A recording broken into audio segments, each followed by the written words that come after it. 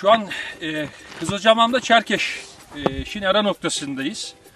E, birkaç tane Karagöl var ama Kızılcamam'a e, yakın olan Karagöl. Yani hakikaten çok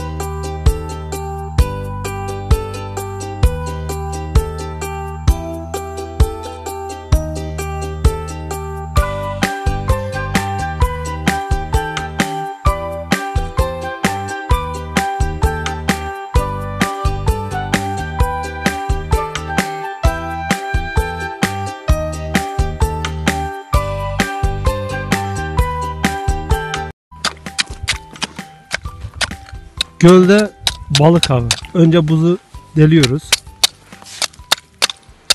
Suya ulaştık ama suyun altı da buz galiba. Arkadaşlar biraz daha dışarıda durun. Biraz daha geniş alanda durun. En baskı oluşturmayın. Düşersen ben tek düşeyim. Şu an Evet. Karagöl'ün ortasındayız. Sıra bak arabanın masanı bıraksaydın bari. Evet selamünaleyküm. Şu an e, Kızılcahamam'da Çerkeş e, Şin ara noktasındayız. E, birkaç tane Karagöl var ama burası Çerkeş'e daha doğrusu Kızılcahamam'a e, yakın olan Karagöl. Hani hakikaten çok güzel bir bölge. Bitki örtüsü itibariyle de Bolu e, bölgesinin karakterine benziyor. E, göl donmuş. E, hoş bir kar yağışı da var şu an. Biz de tam gölün orta noktasındayız. Bugün aslında e, Allah'ın bize gölden ikram edeceğine efendim inandığımız balıkları e, tutmak için buradayız. Fakat göl don. Şimdi gölün orta kısmında küçük bir e, delik açıyoruz. E, bir miktar açıldı. E, arkasından da inşallah burada balık avlayacağız ve bugün Rabbimizin bize ikramı olan balıklara inşallah ulaşacağız. Evet Karagöl'den. E, Abdülnasır burada. E, İbrahim kardeşimiz burada ve Seyfullah kardeşimizle birlikteyiz. Evet. Selamünaleyküm. Kimse.